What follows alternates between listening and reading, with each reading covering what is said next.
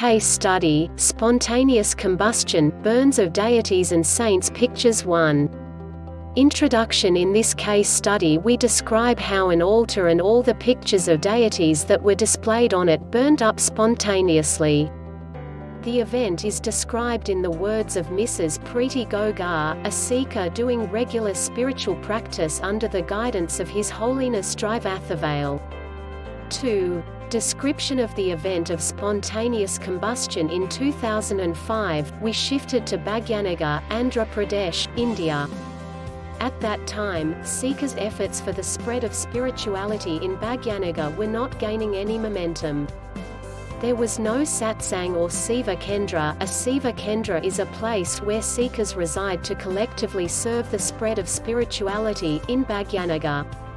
We set up a separate meditation room in our home and started performing arti ritualistic worship performed with a lamp twice a day. Soon seekers' efforts for the spread of spirituality began to gain momentum.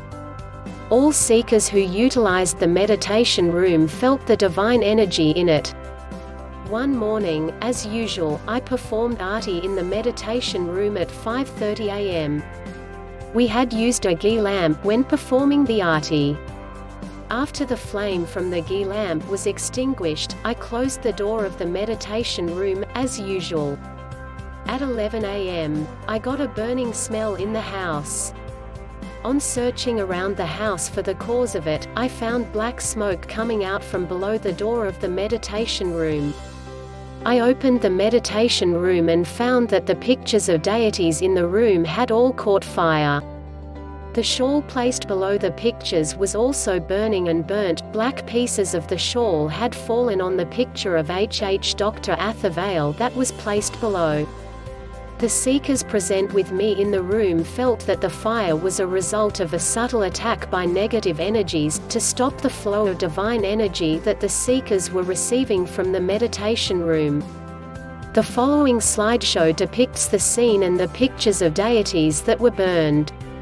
Spiritual research teams comment, each of the deities' pictures was burned as if somebody or something had deliberately attacked each picture, one by one. It did not seem like a normal fire where everything burned evenly. 3. Subtle analysis of the attack We conducted spiritual research, i.e. subtle analysis, about this case of spontaneous combustion using advanced sixth sense. This was so as to ascertain what happened in the spiritual dimension, for fire to automatically manifest in the physical realm, without any rational cause. In this case, we also have a drawing based on subtle knowledge describing the attack in the subtle.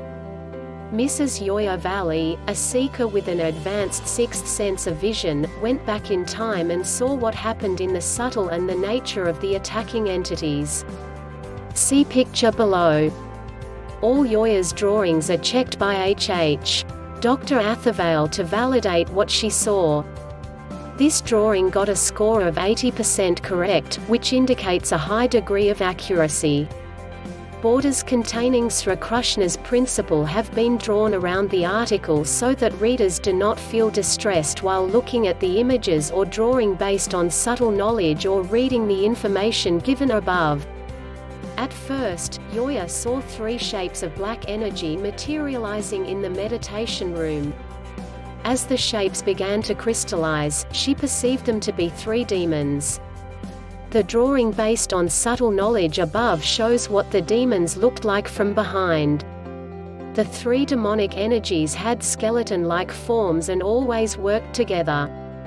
The demon in the center was the main one, and it transferred energy to the other two by holding their hands.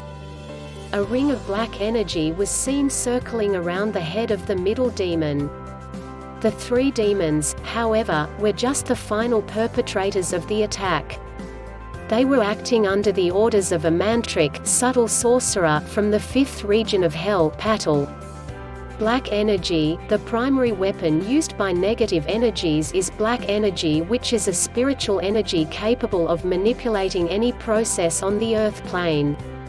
The extent of this manipulation depends on the strength of the attacking negative energy.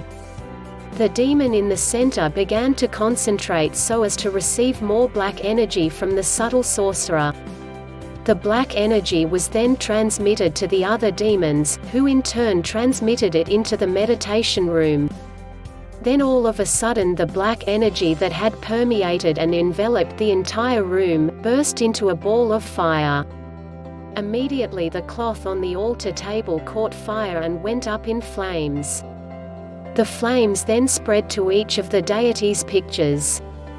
Then almost on cue, the demons began to dematerialize and vanish from the scene.